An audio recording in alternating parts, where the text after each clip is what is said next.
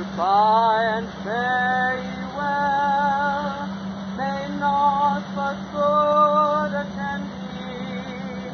All around the wide world, where sailors' luck may send me, up and down the deep seas, back across the mine, and you.